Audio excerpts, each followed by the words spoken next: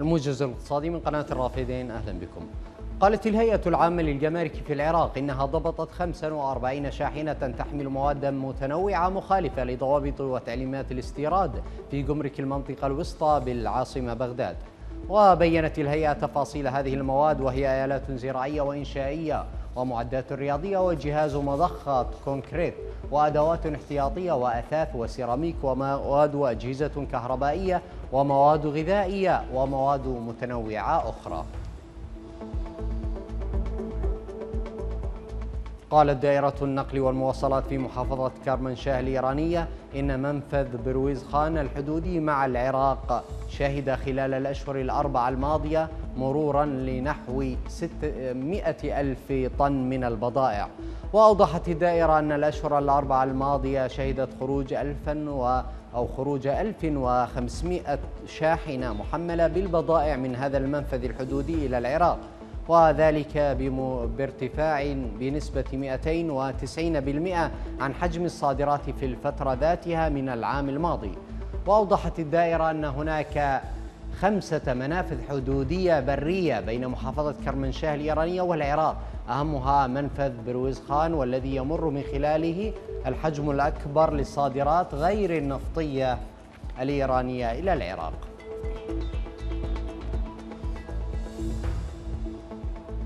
أعلنت جمعية مصدري البقول والبذور الزيتية والمنتجات التركية أن العراق جاء أولا باستيراد الحبوب التركية خلال شهر تموز الماضي.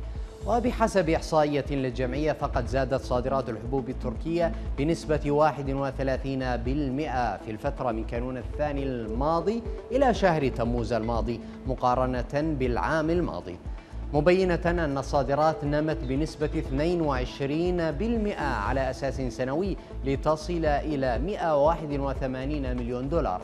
وأضافت الجمعية أن العراق جاء أولا كأكبر مستورد للحبوب التركية خلال شهر تموز الماضي. ومن ثم جاءت الولايات المتحدة الأمريكية ثانيا والجزائر ثالثا.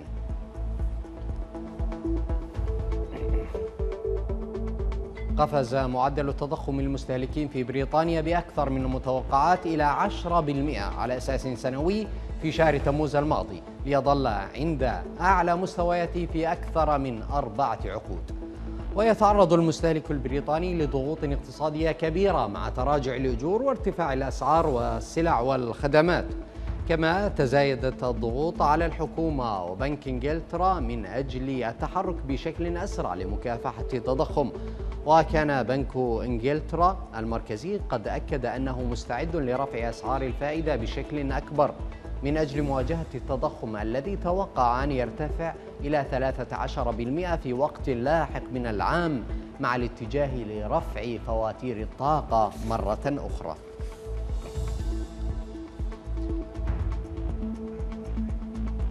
نما اقتصاد منطقة اليورو بنسبة 0.6% على أساس فصلي. في قراءة ثانية جاءت أقل من تقديرات القراءة الأولى البالغة 0.7% وقال مكتب الإحصاءات الأوروبي يوروستات في بيان إن الناتج المحلي الإجمالي لاقتصاد منطقة اليورو على أساس سنوي سجل 3.9% في المقابل. نما اقتصاد الاتحاد الأوروبي بنسبة 0.6% في الربع الثاني. بينما نما بنسبة 4% على أساس سنوي. وسجلت إسبانيا أعلى نمو في اقتصادات منطقة اليورو بنسبة 1.1% على أساس فصلي فيما نما اقتصاد إيطاليا بنسبة 1% خلال الفترة نفسها.